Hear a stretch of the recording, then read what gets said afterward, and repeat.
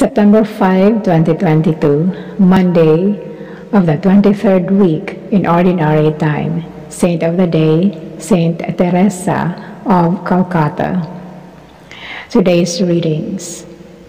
First reading. A reading from the first letter to the Corinthians.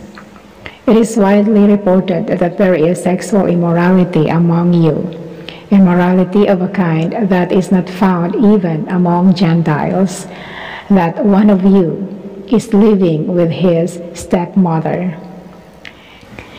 And you so feel with your own self importance. It would have been better if you had been grieving bitterly, so that the man who has done this thing were turned out of the community. For my part, however distant I am physically, I am present in spirit and have already condemned the man who behaved in this way, just as though I were present in person. When you have gathered together in the name of our Lord Jesus, with the presence of my Spirit and in the power of our Lord Jesus, hand such a man over to Satan to be destroyed as far as natural life is concerned, so that on the day of the Lord his spirit may be saved. Your self satisfaction is ill founded. Do you not realize that only a little yeast leavens the whole batch of dough? Throw out the old yeast so that you can be the fresh dough, unleavened as you are. For our Passover has been sacrificed. That is Christ. Let us keep the feast then with none of the old yeast and no leavening of evil and wickedness, but only the unleavened bread of sincerity and truth. The word of the Lord. Thanks be to God.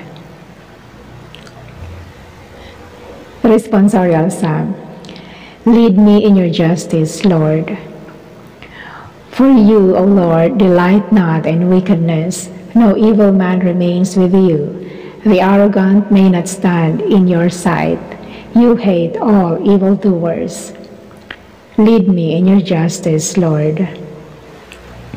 You destroy all who speak falsehood, the bloodthirsty and the deceitful, the Lord abhors. Lead me in your justice, Lord. But let all who take refuge in you be glad and exult forever. Protect them, that you may be the joy of those who love your name. Lead me in your justice, Lord. Alleluia, Alleluia. My sheep hear my voice, says the Lord. I know them, and they follow me. Alleluia, Alleluia. The Holy Gospel. A reading from the Holy Gospel according to St. Luke. Glory to you, O Lord. Now on another Sabbath, he went into the synagogue and began to teach. And a man was present, and his right hand was withered. The scribes and the Pharisees were watching him to see if he would cure somebody on the Sabbath, hoping to find something to charge him with. But he knew their thoughts, and he said to the man with a withered hand, Get up and stand out in the middle. And he came forward and stood there. Then Jesus said to them, I put it to you is it permitted on the Sabbath to do good or to do evil, to save life or to destroy it? Then he looked round at them all and said to the man, Stretch out your hand. He did so, and his hand was restored. But they were furious and began to discuss the best way of dealing with Jesus. The Gospel of the Lord. Praise to you, Lord Jesus Christ. Reflection. Today's gospel shows Jesus' disapproval of those who focus narrowly on the traditions and laws of religion, that they lose sight of God's message. Jesus challenges the legalistic way of keeping the Sabbath holy by asking, Is it lawful to do good on the Sabbath rather than to do evil? To save life rather than to destroy it?